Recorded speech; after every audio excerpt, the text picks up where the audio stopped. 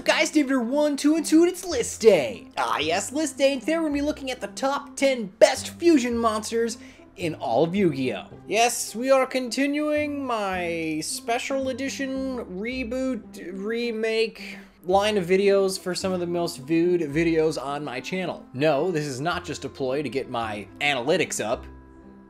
The game has progressed significantly since those last videos came out, so uh, the fact that they still get a lot of traction in the community and people are still watching them despite the fact they're way out of date is like, oh, that's kind of dumb. We better update these, I guess, maybe. This is going to be a great list because uh, I'm full of uh, Mexican food and this really, really boozy sangria. Ah. Fusion, fusion. Rules for this list are basically just, is it good, is it bad? Put them in order. It's the best of list. However, we're going to try to keep the effects rather varied uh, in an attempt to make it kind of interesting. If you don't see your favorite fusion monster on this list, make sure you join that Discord link in the description below so that you can get in on the list making fun so that you can get me to say whatever the hell it is that you want me to. Dance, monkey, dance. But without further ado, here is the top 10 best fusions in Yu-Gi-Oh! Number 10, Millennium Eyes Restrict. Uh, Thousand Eyes Restrict if you want. Millennium Eyes Restrict is a great fusion monster. Sadly, it never gets legitimately fusion summoned by its own fusion card. It tends to get made by instant fusion. So the amount of play it has seen has dropped off the face of the earth because instant fusion got limited. However, that does not change the fact that it's a very powerful fusion monster. This level 1 bad boy says, Quick Effect, once per turn, when your opponent activates a monster effect, you can target one effect monster your opponent controls or in their graveyard, equip it to this card, then this thing gains the attack and defense of the monster equipped. Also, and here's why we care, monsters with that equipped name cannot attack and their effects are negated and their activated effects are negated. Meaning that instant fusion was a great option if you want to set a pick for your plays and avoid your opponent's hand traps. All you have to do is open an instant fusion and that means all your plays will probably go through. It doesn't hit every hand trap, like, you know, Infinite Impermanence is obviously a trap card, so that is what it is. But the fact that it pretty much eliminates most of your opponent's options for stopping your plays meant this card saw tons of play and uh, never in its own deck. Number 9 is Chimera Tech Mega Fleet. What you need to make this bad boy is one Cyber Dragon and one monster in the extra deck monster zone. And what is really cool is those materials can be on either side of the field, meaning you can fuse with one of your opponent's monsters. No offense, but I think it's kind of gross. Just like a kaiju, an inherent special summon using one of your opponent's things as material is extremely good because it's extremely hard to stop. It gets a power boost depending on how many materials you used for it. It tends to hit the field with 2400. It's a great way of getting rid of that big bad link monster your opponent has sitting in their extra deck monster zone. With the advent of Master Rule 5, it's obviously not quite as powerful as it used to be because this would also hit like, you know, Xyz and Synchros and things like that, but it still is a solid option to use against a link board. And the other Chimera Tech is great if you're playing against a machine deck, so I'll stick him in here as another parentheses entry. entry. parentheses entry! Hmm. Oh, this is not just wine. This, there's tequila in this. It's gonna be one of those lists. What I really like about Mega Fleet specifically, though, is it doesn't have to be Cyber Dragon. It's just a Cyber Dragon monster. So, like, you can use Toon Cyber Dragon, which is really just that is the cutest thing. It is so cheesy.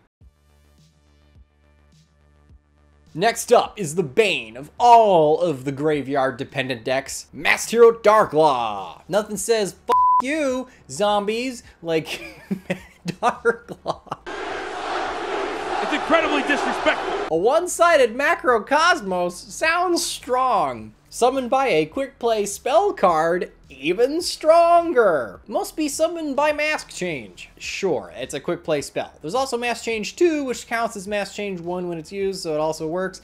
And Mask Change 2 allows you to use non-hero monsters, so that's cool. Any card sent to your opponent's graveyard is banished instead. It's Macrocosmos. Broke. But it does have this other effect that once per turn, if your opponent adds a card from their deck to their hand, except during their draw phase or the damage step, because, you know, we do a lot of searching during the damage step, you can banish one random card from your opponent's hand. Holy crap. Nothing makes you feel worse about using your reinforcements of the army card than seeing a Dark Law on the other side of the field, because there is a good chance it's going to just banish what you searched. Uh, not only that, but it like activates after you've done the search, which means that if you have nothing in your hand, you can't even avoid it. Yeah, this thing's a giant pain in the ass and a really powerful floodgate boss monster to have in your extra deck, bolstering what is already an impressive line of really powerful fusion monsters that heroes have at their disposal. And the hits just keep coming. Coming and they don't stop coming and they don't stop coming and they don't stop coming. With Invoked Mechaba. Mechaba? Everyone pronounces this one differently. Ah, Aleister the Triggered is just like one of the best fusion engines that we have in this game. You can stick Invoked in pretty much anything.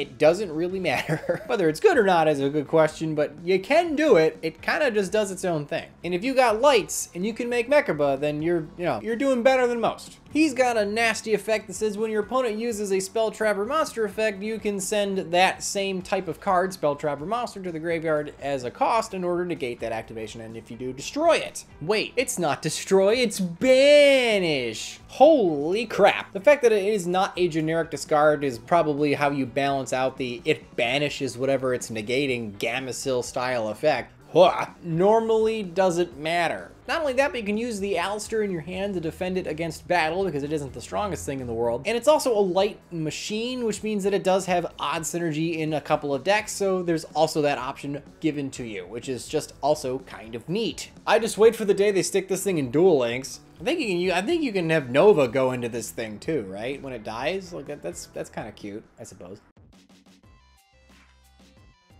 Number six, is six where we on? El Shaddoll Construct, an oldie, but a goodie. Construct's a weird one because she hasn't been actually particularly relevant in a little while. Every once in a while comes popping back into the meta, especially because we recently got that El Shaddoll uh, structure deck thing, but she also didn't really have much of a format due to uh, the tribe infecting virus, so it's a little hard to say how meta relevant she actually is. Uh, rest in peace, pretty much everything that's come out in the last year. I'm sorry, Eldlich Golden Lord, you were the lord of no format. However, you really can't poo-poo El Construct's legacy in the actual game of Yu-Gi-Oh! She, uh, she a good girl, despite the fact that I don't think she's actually a real person, she's some sort of strange automaton. Made of one Shaddoll monster and one light monster, you must first fusion summon this card, so you, you can't cheese it out of your extra deck. If this card is special summoned, you can send one Shaddoll monster from your deck to the graveyard. If you know what Shaddolls do, they all have graveyard effects, so, uh, yeah, that, that seems like it's a good engine card for the deck. Also, at the start of the damage step, if this card battles a special summon monster, destroy that monster. Ah, non-targeting removal. Nice. Nice! It will be using its effect to remove key monsters from your opponent's side of the board. That also happens during the damage step, so it's just a weird time for it to be using an effect, so it's also a little bit awkward to stop. And if the card is sent to the graveyard, you can add a Shaddoll spell or trap from your graveyard to your hand. Most of the time, it's one of the fusion cards. There's a reason why this card was him and Han on the ban list for a while, because it's just, again, a solid engine and boss monster for the Shaddoll archetype. Speaking of him and Han on the ban list, ABC Buster Dragon. ABC, baby, it's not at three. Fucking idiot. Boy, I'm gonna hate editing this. I don't know who it is over at Konami that really hates ABC Buster Dragon because the card is not broken. It is a fantastic boss monster, but it is not broken. I don't know why we keep moving it around on the ban list. It's a joke at this point. Don't let the fact that it is unduly limited all the damn time take away from the fact that yes, it is indeed a powerful boss monster. Made of A, B, and C, go figure, must be special summoned from your extra deck using the above three and you banish those things as material. It's not a fusion summon. It's a, it's a con contact fusion. Excellent. It's actually not even a real fusion summon. It is a special sub- whatever. Once per turn, during other player's turn, you can discard one card, target one card in the field, banish it. Nice. That is some solid spot removal. Not only that, but all the, the A, B, and C's, they do stuff in the grave, so discard them isn't like the end of the world. It's pretty solid. And then also has a second quick effect, which is, well, frankly, fantastic. Most monsters only have one, if any, but this guy got two. Once per turn, you contribute this card to special summon three banished Union Machine Light. Is it, is it light? Yeah. It, the A, B, and C. You tribute this thing, you summon its materials. That's that's what you're doing. You, you don't technically have to by language of the card, but most of the time you, you, you tag out for A, B, and C. Which means that just like your old chain beat wind-up rabbit, anytime your opponent would throw some sort of removal at this thing, you can just tag out for its materials and make that effect fizzle, and then just presumably make it again. It's why I think somebody at Konami dislikes this card so much, because it's a pain in the ass to remove from the field. like I said, it's an absolutely fantastic card, and it's a damn shame that the, somebody at Konami seems to dislike it so much. It is not broken, it is just very good. But now we are starting to get into the broken stuff, which could either be banned or stay banned, and I don't think anyone would have a problem with it. Supreme King Dragon Starving Venom. Two Dark Pendulum monsters must first be fusion summoned or special summoned, which is uh, interesting that you can do both. Basically, one requiring a fusion card like Polymerization and one not. It matters if you wish to bring it back from the graveyard later, I guess. If you choose not to fusion summon, you gotta tribute the guys on your board.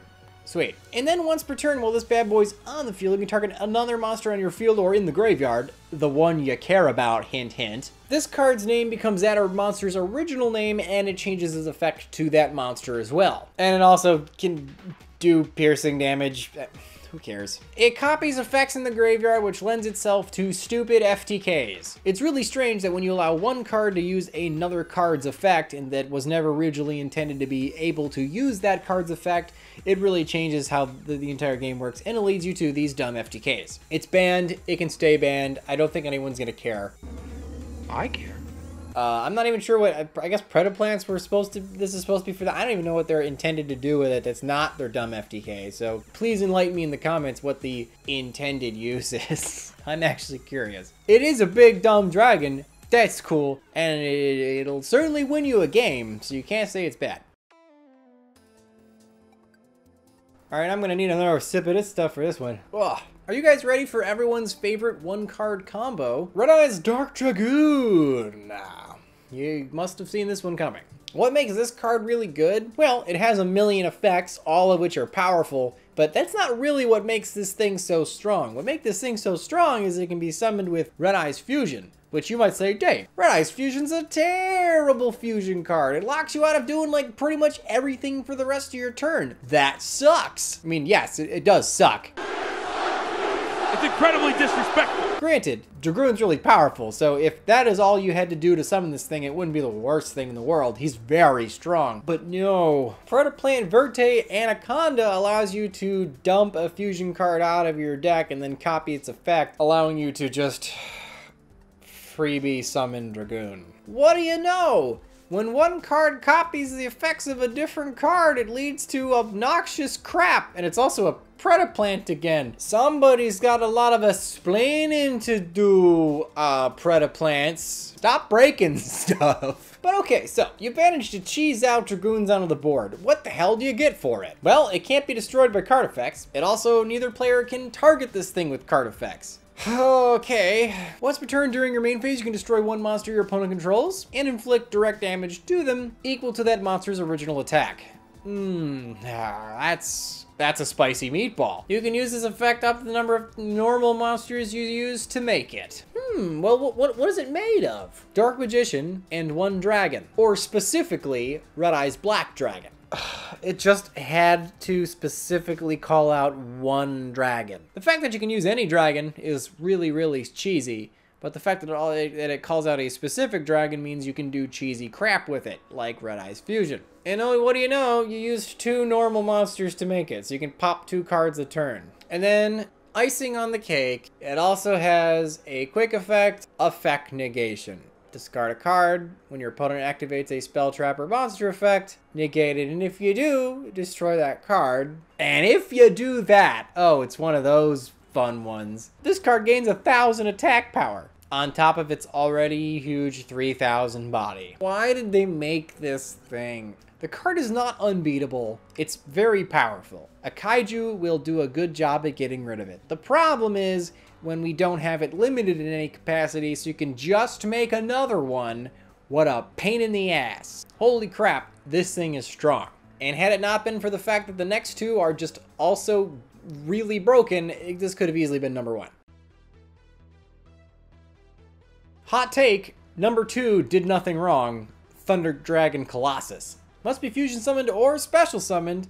Ha, it's that thing again. During the turn, a Thunder monster has used its effect in the hand, like for instance Thunder Dragon, by tributing a Thunder effect monster. Or you just use polymerization. In which case, it's made of Thunder Dragon and one effect monster. This is awesome! What a pain in the ass this card can be! 2600 body, battle or effect destruction protection by banishing a guy in your grave, and an effect that prevents your opponent from adding cards from their deck to their hand, except by drawing.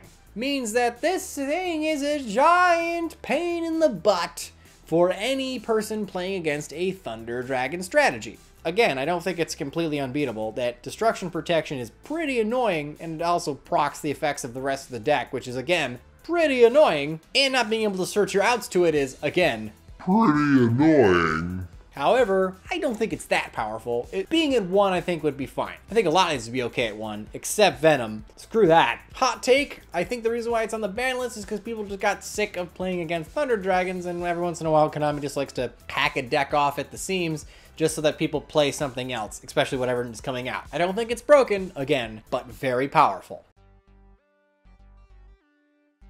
And then we have some honorable mentions. I actually, there's a ton of honorable mentions because Fusions is like the longest running extra deck summoning mechanic that we have. So we have a huge, 15 year library of cards, a lot of which are still pretty good. And one of the oldest ones we could give an honorable mention to is Last Warrior from Another Planet. This thing uh, nukes your own board when it hits the field, but prevents your opponent from summoning anything at all. They can't, they just can't summon. They can set, but they can't summon. No specials, no normals. Deal with it. You also can't summon, but I mean, do you do you care? And his best friend, Naturia Exterio, which has just got an negate. Both of these are normally brought out with some sort of cheating the extra deck card like Waking the Dragons, that's why I'm gonna lump them together. Both of which, very good, but I just think they are wholly outclassed by stuff that you can actually make without a cheesy effect going off. Next up, I think, would be Seraphinite. Uh, RIP Brilliant Fusion. Sorry, Doug. They would also be doing Seraphinite a disservice not to at least mention her because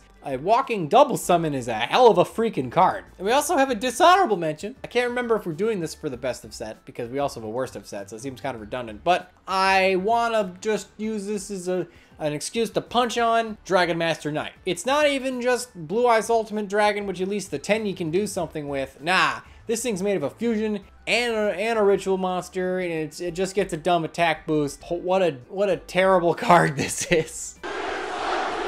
It's incredibly disrespectful. If it wasn't for anime protagonist powers, no one would even care about this thing. It's not good. But it's not bad enough to be a worst of. It's just mediocre at best. 5k attack power though.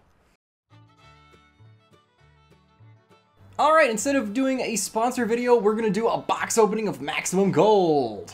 What's up guys, Davinator, one, two, one, two, and it's box day. Ah yes, box day. The day where we open a box! What's in the box? I'm, I'm keeping all of it, you know right? Alright, Amanda, we're gonna open this Maximum Gold. And we're gonna do it in The Void. Alright, pack one in The Void. This is my new setup idea for, for doing pack openings, because I can actually get this to work and set the manual focus. Ooh. Okay. How appropriate, it's a spooky card. So okay, so it looks like this is the gold rare space. It's not a gold rare. It's a gold rare because it's got. All right, so there can only be one. Oh, cool! Monster Reborn, And it's printed correctly. and it's. Oh, I, I was kind of hoping these, these would all be fucked up. That's right. okay, we got three more packs. Uh, Fear of the Stormwind Machine Dupe. Ooh, Martial Metal Marcher. And, oh, Mecha Phantom Beast Jacuzalame. ah look, it's a thing. Premium content. Cool. Is trade in? I had a, I mean, I have magical meltdowns when I'm hungry. That's about it. Ghost Belle and Haunted Mansion. That's a good pull. I don't know what that means. Ooh, a big anglerfish! And laundry dragon maid. what the hell? That's sexist. DD warrior lady. Well, she doesn't look like she has DDs, but alright. Number 101, Silent Honor ARK. Yay! I'm gonna preface this next pack with I am sorry. You asked me to do this. Uh, we got 87 white Whitestone Invasions. That's pretty cool. Uh, Shared Ride's a good one. The Monarchs Erupt. Ew. Where's Jason? Uh, ooh, Ghost Reaper and Winter Cherries. Ah, and House Dragon Maid. Very cool. And then we got C107. No one, no one cares about a dragon. Okay, that's. Final pack. Do, Ooh. do you want to open? Nah, the you can do it. Okay. Apparently not any good. I didn't know that there was a talent to opening playing cards, but okay. It's fine. I mean, you should see some of the other channels that do this. know Trust what? me, there is none. Barry, Stash, and Stormwind. Lose one turn. Ooh, Infinite Impermanence. This was actually a really solid fucking box. Uh, ooh, and Nibiru. I know what that one is. Uh, Noble Knight Ector and Mage Power. Wow, this was a really fucking good box. That's kind of fun. Out of all these, I recognize two. All right, so uh, the good stuff we got was like uh, just a mess of hand traps. We got Impermanence, uh, Cherries, Nibiru, uh, and the Haunted Mansion, and then we also got these two. This one's probably just a collector card, and then we got this. Oh god, this gold rare looks so freaking sick. That does look pretty snazzy. And oh no, I just had a realization. I bet Monster Reborn's getting green screened out. Oh. It is in the void. Can you guys guess what number one is? Just go ahead. Guess. A Daria. A double dog Daria. It's almost Christmas, I guess. It's Norden. Did you guess it was Norden? It was Norden. This level 4 monster is a fusion of two Synchros and or Xyz. What a strange thing. But all the all the, the the entity cards are all a mishmash of the other summoning types. So this is pretty on par for what they do. When this card is special summoned, special summoned, target a level 4 or lower in your graveyard, special summon it but negate its effects. Oh boy, who cares? And also banish it when this card leaves the field. It turns out when you when you Xyz summon, the materials are not leaving the field, so that gets around that real easily. It's a level 4, which means it's a perfect instant fusion target, just like our number 10 Millennium Eyes Restrict, Sangria. However, what's funny is this card is banned not because of instant fusion, at least not specifically. No, it was actually being used in a dumb Zoodiac loop with Fusion Substitute? What the hell is that card called? Yeah, Fusion Substitute. I was. I always trust your instincts, kids.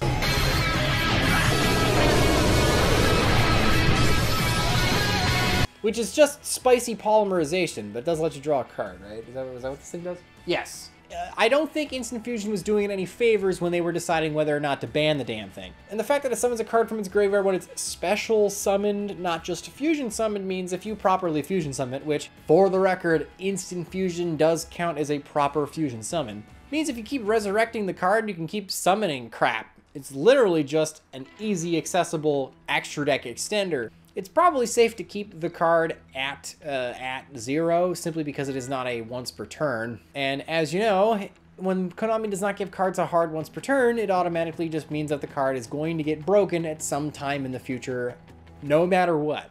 But anyway, I hope you guys enjoyed the list. This one was a lot of fun to do, and I don't think it was just because of the sangria. Let me know in the comments below what you guys think, and how about you give me suggestions for the next list, which is the best, well, the next of this series. The next literal might be something else, but the next in this series uh, for the synchros. I'm curious what you guys think the best synchro monsters are. And remember, guys, if you don't troll, no who will, I'll see you guys next time.